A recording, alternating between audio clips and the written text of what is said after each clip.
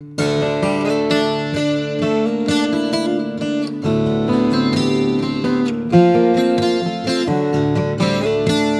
I'm glad you're with me today. We're at Exodus chapter 5, verses 6 and 9. Pharaoh, uh, Moses, and Aaron have gone into Pharaoh and they've had their first audience with him. Didn't exactly end in a really joyful situation for anybody. Let's look and see what happens next. Verse 6. So the same day Pharaoh commanded the taskmasters over the people and their foremen, saying, You are no longer to give the people straw to make brick as previously.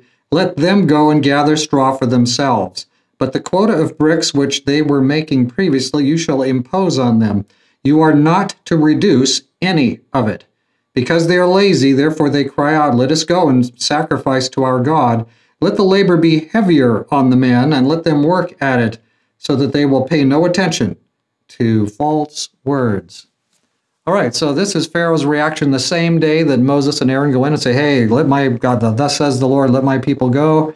The same day, Pharaoh issues orders make them work harder and don't give them any straw anymore. So now the Hebrews have to go out, and it's not that they're going to supposed to make bricks without straw. That's kind of the common uh, myth or the little saying, but no, they just have to. The, the, Egyptians are not going to provide it. The Hebrews have to go out and scrabble it up and find it wherever they can find it. The the, the Egyptians are not going to provide it. So they've really got to scramble for it, and they're not going to be successful. Pharaoh has set really here uh, virtually an impossible task.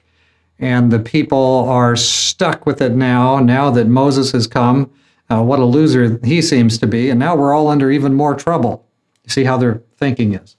So Pharaoh shows complete contempt for the God of the Hebrews by issuing, you know, revising his orders. Now you guys do this work without even our Egyptian provision giving you the straw. He's countermanding. God says, Let my people go. And Pharaoh says, uh, Not only are they not going, now they're going to work even harder. And you know, maybe the Hebrews anticipated, it kind of seems that they did, that uh, somehow this was going to end, you know, real easy. You know, we're just going to, Pharaoh's going to say, Okay, well, all right, have a nice day. Go worship to your God. But no, that's not what happens. Instead, we get this, this crackdown out of the palace of Pharaoh. And Pharaoh's move here is quite astute. I mean, he wants to create a d- division between Moses and Aaron and the Hebrew people who are, you know, under his under his pharaonic thumb. And so he's dividing and conquering. You've ever heard of that? Well, Pharaoh used it a long time ago, attempting to do that. And you know, this same tactic is going to be used, is being used against God's people today.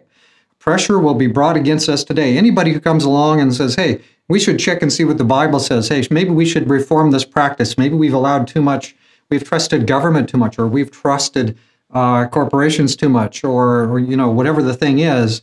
Maybe we need to go back to the Bible and, and dig in tighter and find out more what God has for us. There's more blessings here that we've we haven't been we haven't been benefiting from because we've been uh, letting too much mingle between the world and God's world.